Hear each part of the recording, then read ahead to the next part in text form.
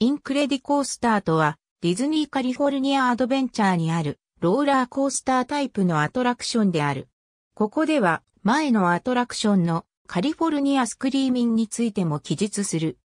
インクレディコースターは2018年6月23日にカリフォルニアスクリーミンをリニューアルする形でオープンしたローラーコースタータイプのアトラクションである。映画ミスター・インクレディブルシリーズをテーマとしている。ピクサーピアのメインのアトラクションであり、ディズニーランドリゾートで唯一の宙返りするローラーコースタータイプのアトラクション。乗り場以外のレールはすべて屋外にある。スタート直後にリニアモーターにより最高速度時速 90km まで加速するが、これは世界のディズニーパークのアトラクションの中でも極めて速い速度である。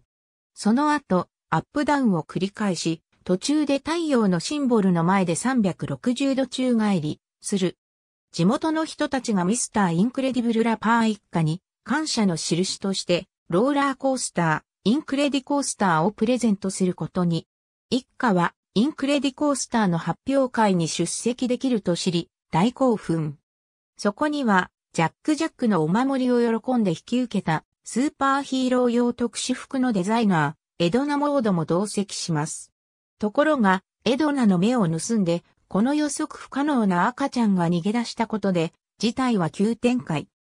ジャック・ジャックは、トンネルからトンネルへとテレポーテーションしながら様々な超能力を発揮し、大混乱を引き起こすことに、宙返りする場所である太陽のシンボルは、以前はミッキーのシルエットだったが、ディズニーカリフォルニアアドベンチャー全体のリニューアルの際に変更された。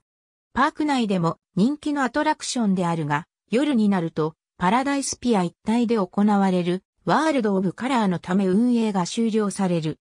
2010年から乗り場での安全に関する放送がニール・パトリック・ハリスによるものに変更された。2018年夏にインクレディコースターとしてリニューアルオープンするために2018年1月8日にクローズした。ありがとうございます。